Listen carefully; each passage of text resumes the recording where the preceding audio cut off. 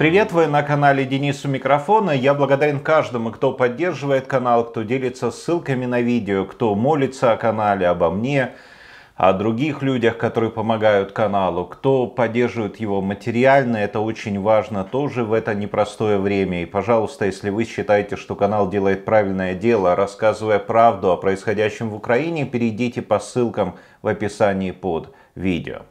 Сегодня поговорим о том, что может вскоре начать происходить в Киеве, в столице Украины. Если вы зайдете на сайт Киевского городского головы Виталия Кличко или на сайт Киевского городского совета, вы удивитесь. Вы удивитесь, такой вот, ну там все прекрасно, там все замечательно, там все вот просто не так, как на улицах Киева. На самом деле, к сожалению, в том же коммунальном плане Киев достаточно запущенный город. Нет-нет, безусловно, можно найти и похуже, но все же вам достаточно будет выйти на привокзальную площадь, зайти в сам вокзал, и вы все поймете. Вы все поймете, вот уровень хозяйственников крепких. И казалось бы, ну решайте проблемы, готовьте город, тем более ожидаются перебои с электроэнергией, ожидаются возможные перебои с теплом, у многих с электроэнергией связана подача воды, но работы не в проворот. Нужно все это делать, чтобы создать людям, ну хотя бы если не комфортные, то человеческие условия. Мы помним прошлый год, когда, я не знаю, меня в районе, например, пунктом незламности стал местный магазин «Розетка».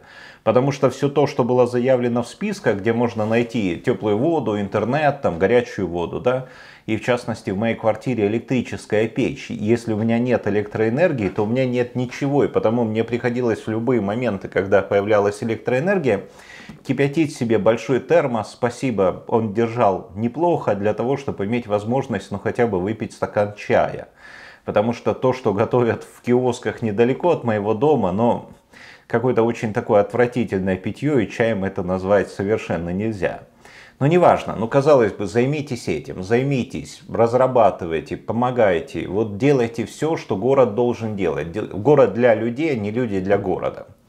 Но нет же, вот они начинают задумываться о совершенно других вопросах. Им почему-то тоже очень хочется потягаться с другими госорганами в своей такой богоборческой борьбе. Мы можем зайти на сайт Киевского городского совета, мы можем с вами посмотреть проекты, которые предлагаются, то есть проекты, законопроект того, что хотят принять, какие решения хотят протащить туда, продавить их, так сказать.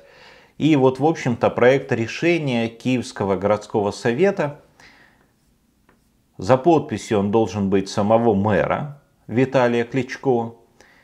И вот о чем он говорит.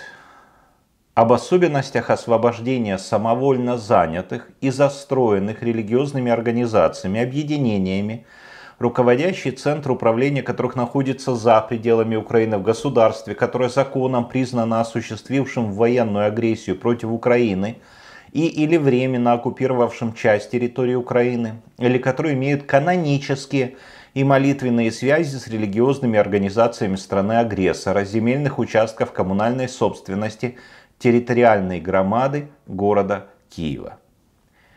Как вам такая формулировка? Мы не будем сейчас разбираться в каких-то военно-политических вопросах, но вот расскажите мне, как Киевский городской совет готовится и вообще может устанавливать канонические или молитвенные связи разных религиозных организаций? Где, быть может, в каких-то функциях, в каком-то перечне того, на что способен Киевский городской совет, прописано, кто из них конкретно, кто из этих депутатов. Может быть, Марина Порошенко – она является одним из депутатов Киевсовета, может осуществлять такую вот комиссию, э, деятельность в составе комиссии, такую вот аналитическую деятельность да, проводить, для того, чтобы понять, у кого же эти связи есть.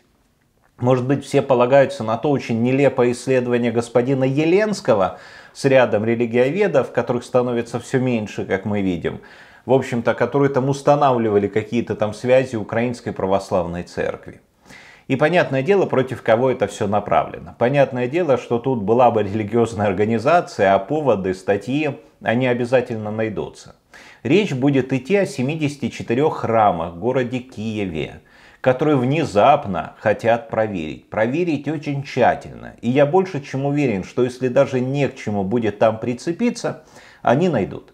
они найдут обязательно. И особенно мне нравится формулировка самовольно занятых. Вы знаете, что идет суд по поводу Десятинной церкви, идет суд по поводу того здания, храма, которое там есть, о котором некоторые противники кричат, что это религиозный маф, малая архитектурная форма.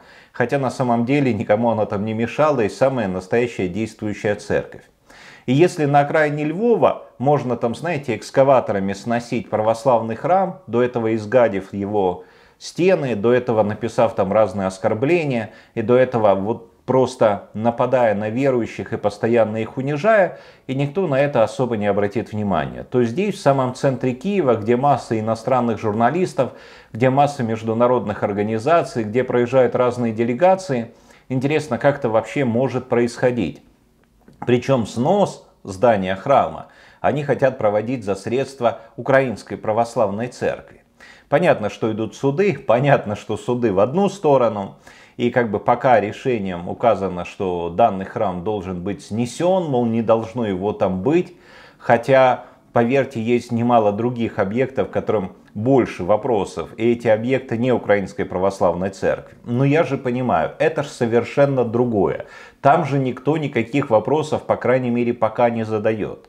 Но, кстати, если вы представитель протестантского движения или еще каких-то религиозных организаций, и вам кажется, что чаша сия вас мину, минует, и вам кажется, что чаша сия вас минует, то я спешу вас расстроить. Может и не миновать.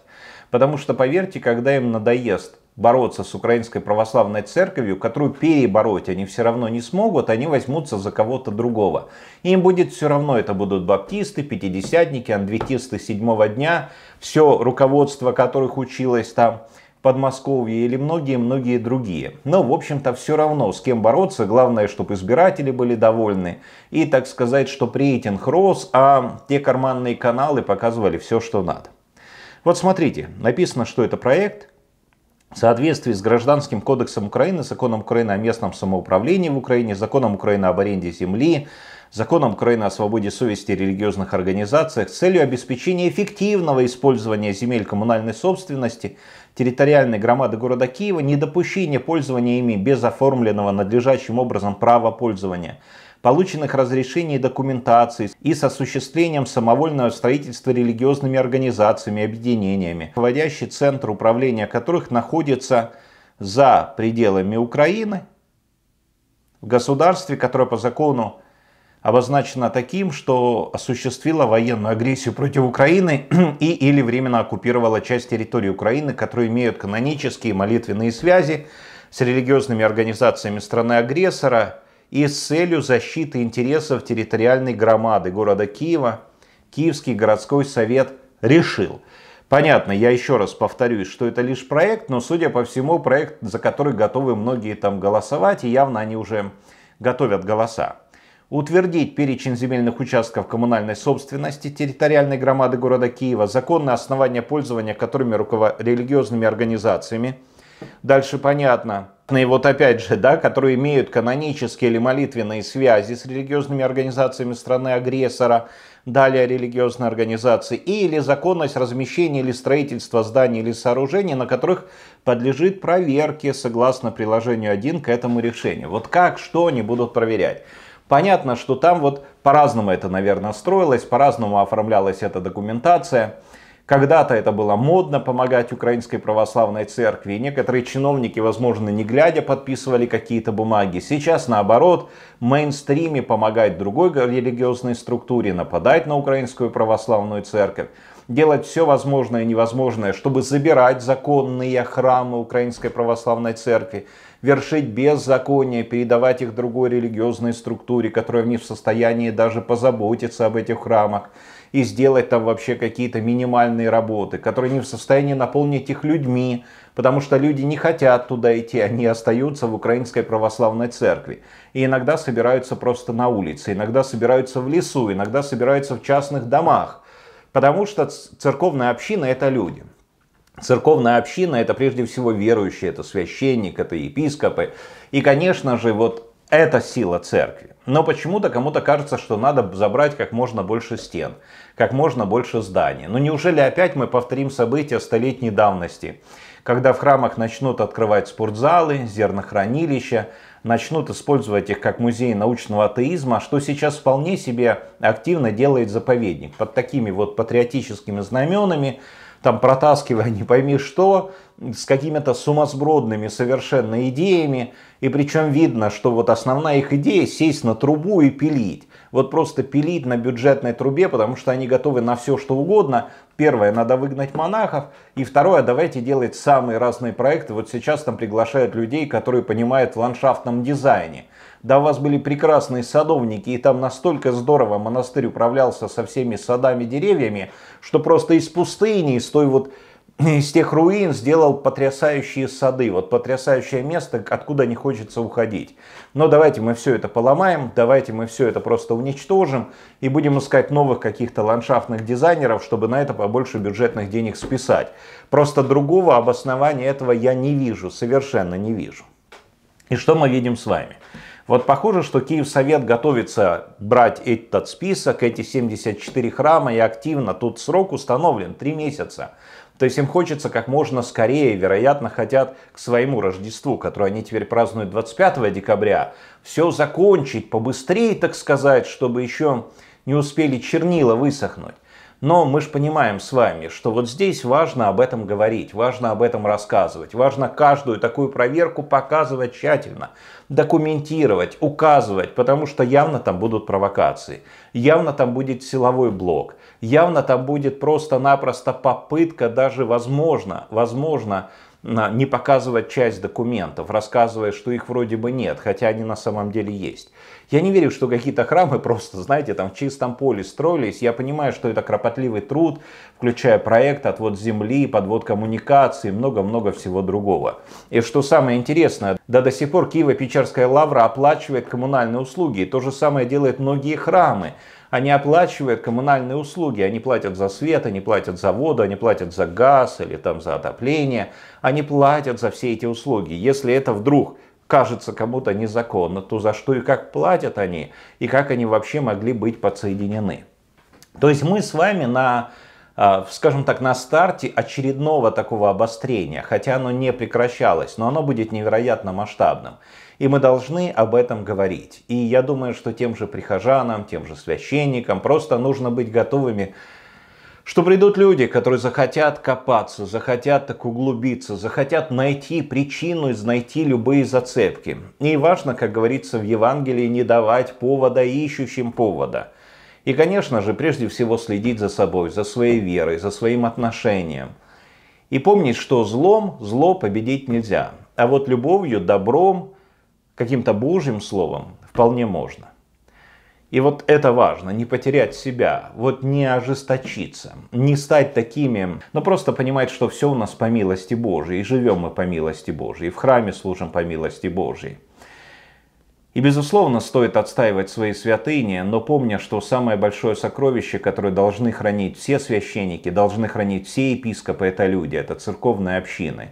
Это те, о чьих душах они поставлены Богом заботиться, и чьи души они поставлены Богом помогать, спасать, приходить людям, помогать к спасению.